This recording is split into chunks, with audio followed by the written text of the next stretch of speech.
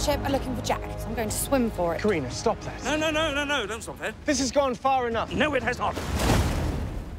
I saw her ankles. You'd have seen a lot more if you kept your cake hole shut. I play a guy called Henry. He's a soldier in the Royal Navy. He is basically a studier of the myths and the supernatural, mainly because he knows that his father is bound to the Dutchman. He's on the quest for a certain treasure that will unlock and break that curse.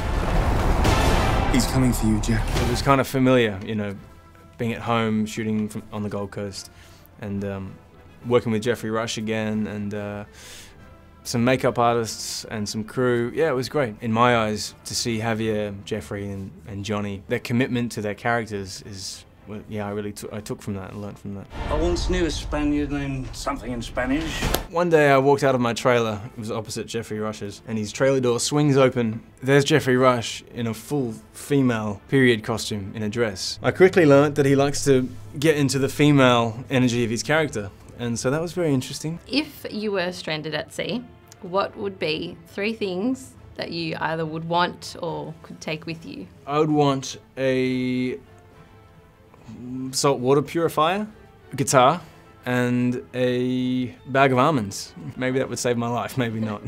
How do you want audiences to feel watching Pirates? I just want them to be entertained. It's a, it's a huge movie. It's really fun to watch. It's kind of how I felt when I first watched them when I was a kid, and so uh, I hope people feel the same things. Some rapid fire questions. Action or comedy? Comedy.